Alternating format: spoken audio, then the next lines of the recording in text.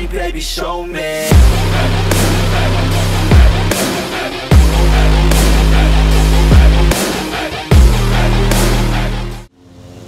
What is up guys, welcome back to another video. Um, I just want to start this video off by thanking you guys for 600 subscribers. It's been a long grind the last almost five years to get here.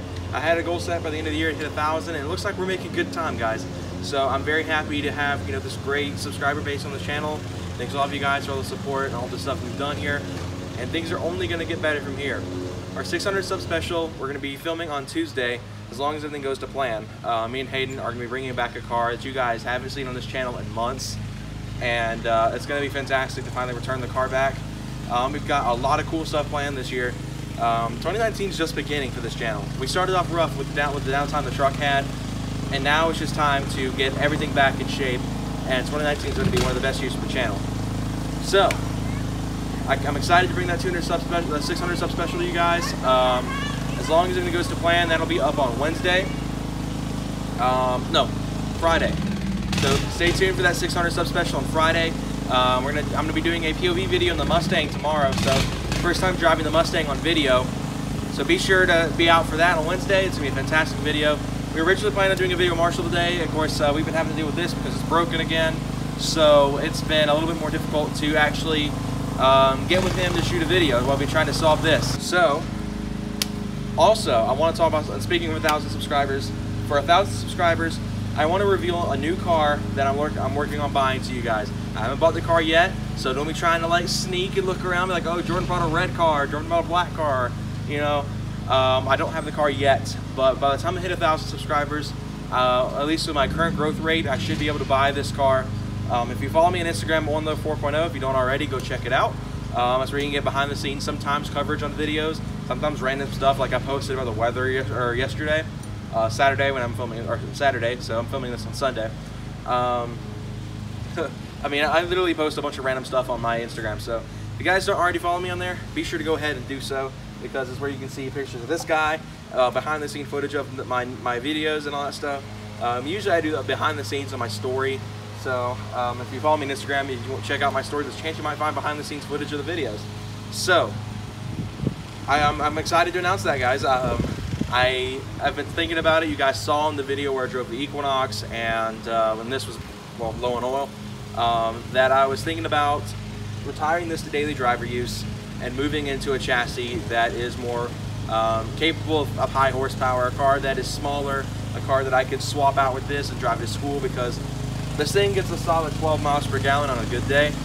So I want something that's a little bit better on gas I can drive to school and be able to enjoy. So I wanted to get something that was also good on gas that I can have fun with. So if you guys don't follow me on Instagram, you guys have seen my top four contenders. The EG Civic Coupe, the EG Civic, or the, the EJ Civic Coupe, the EG Civic Hatch, the 3000 GT, and the Eclipse. So um, if you guys want me to do a video on why those top four in particular, I will gladly do a video on it.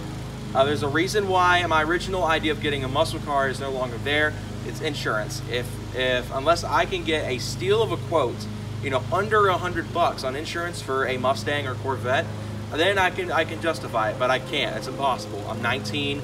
You know, the, the Mustangs I've been looking at, the majority of them are convertibles um, because the S2000s kind of spoiled me, made me want a vert. So um, these cars will not. None of these will be convertibles that I'm looking at.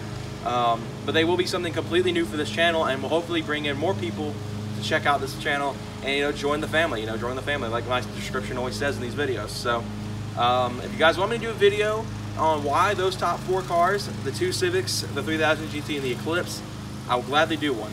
Um, there's a couple things though.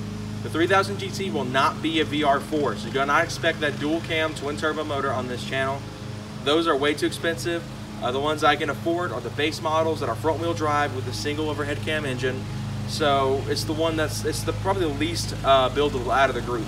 I'll probably be right back to square one like I am in the 4.0, the 3000 GT, um, performance-wise. So that's why it's more than like it's like the least likely to happen out of the group. I would need to really find parts with single cam motors to really justify said purchase on the 3000 GT. But yeah, if you guys want me to do a video on that, let me know.